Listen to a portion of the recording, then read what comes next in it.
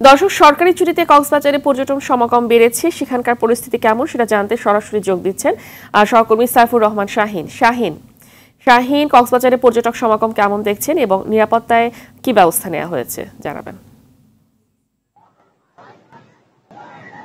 হ্যাঁ, ফাহমিদ আমরা সকাল থেকে কক্সবাজার সমুদ্র সৈকতে এসেছি। সকাল থেকে আমরা দেখতে পাচ্ছি এখানে প্রচুর পর্যটক কক্সবাজারের যে মূল তিনটি পয়েন্ট রয়েছে কলাতলি সুগন্ধা এবং লাবণী তিনটে পয়েন্টে উপসে পড়া ভিড় আমরা দেখতে পাচ্ছি পর্যটকদের।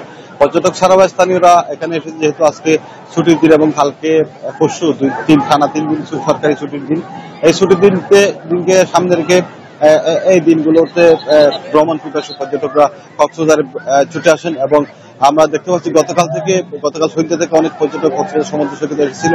আপনি জানেন পর্যটন দিবস উপলক্ষে সপ্তাহবিহী বিচ কার্নিভাল ও পর্যটন মেলা কক্সবাজার গতকাল থেকে শুরু হয়েছে।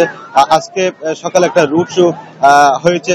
তো আজকে যদিও বা পবিত্র ঈদুল মিলাদুল ঈদুল মিলাদুল উপলক্ষে সীমিত করা হয়েছে অনুষ্ঠান অনুষ্ঠানমালা তবে পর্যটকদের উপসভাটা ভিড় কিন্তু এখানে লেগে রয়েছে। হোটেল মোটেল জন্য শতভাগ বুকিং হয়েছে ইতিমধ্যে।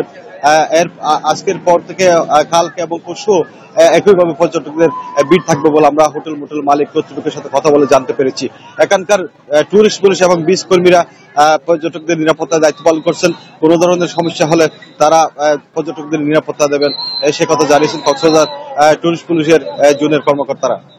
তো মোটামুটি নির্বিঘ্নে আনন্দ উপভোগ করছেন পর্যটকরা কক্সবাজার সমুদ্র সৈকতে এসে। তো কোনো ধরনের অপ্রীতিকর ঘটনা আমরা দেখতে পাইনি। তো পরবর্তীতে কোনো সংবাদ থাকলে জানাব। ফাহমিদা, কক্সবাজার সমুদ্র সৈকত থেকে এ হচ্ছে আমার সর্বশেষ।